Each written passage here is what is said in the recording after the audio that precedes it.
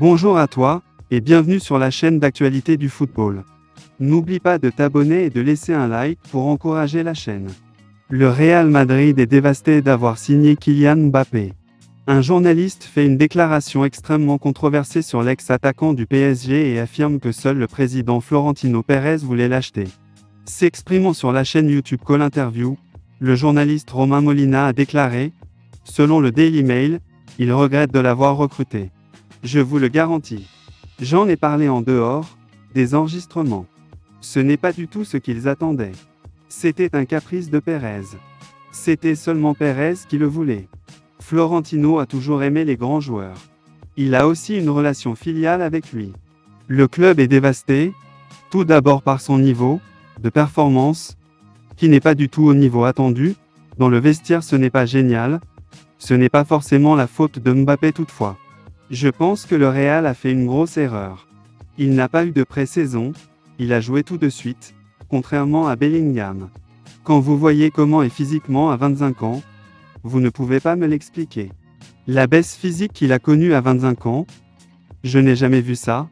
Que va-t-il se passer ensuite pour Kylian Mbappé?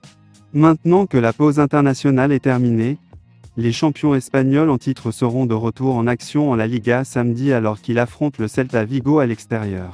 Mbappé devrait jouer. En aimait bien Kylian Mbappé Triste confidence.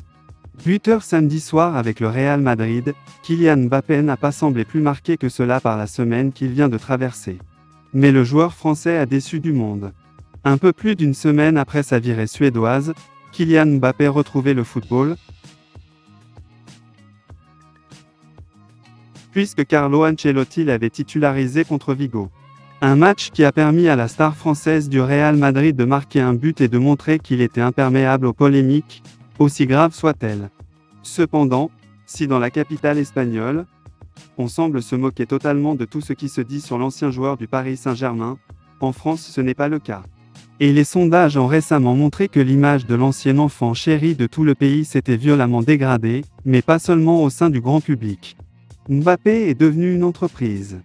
Dans un entretien accordé à la tribune dimanche, Fabien Antniante, qui connaît énormément de monde dans le milieu du football professionnel, regrette vivement l'évolution de la carrière de Kylian Mbappé ces dernières années.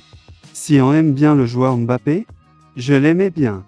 Je m'inquiète de savoir s'il va retrouver le niveau qui était le sien quand il est arrivé de Monaco au PSG. Je suis dubitatif.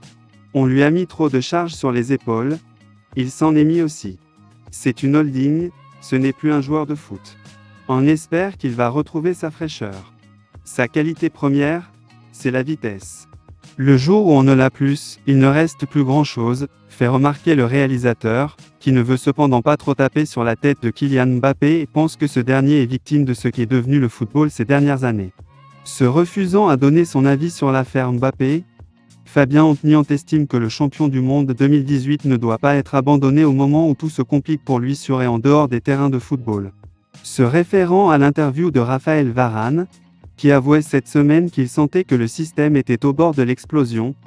Le réalisateur de 4-0 voit en Kylian Mbappé le symbole de ce danger qui plane sur le sport le plus populaire de France. Mbappé fait super-héros, mais il est peut-être plus fragile qu'on ne le croit, ce qui me le rend totalement humain, voire en dépression, explique celui qui tente de divertir le public avec un film consacré à ses dérives du football business. Mbappé domine une bataille au sommet face à Haaland. Kylian Mbappé a été décisif hier soir avec le Real Madrid face au Celta Vigo, lui permettant de dominer un certain Erling Haaland.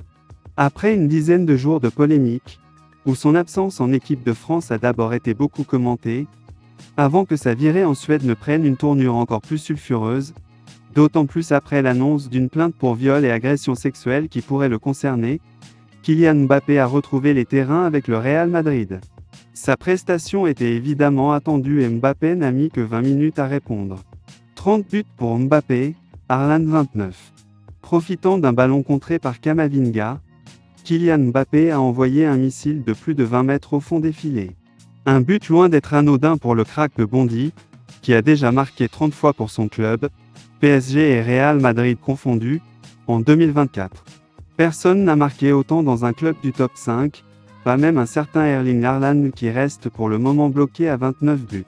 Réponse ce dimanche On espère que la vidéo vous a plu, si c'est le cas. Abonne-toi et laisse un like. Quant à moi, je te donne rendez-vous à la prochaine vidéo.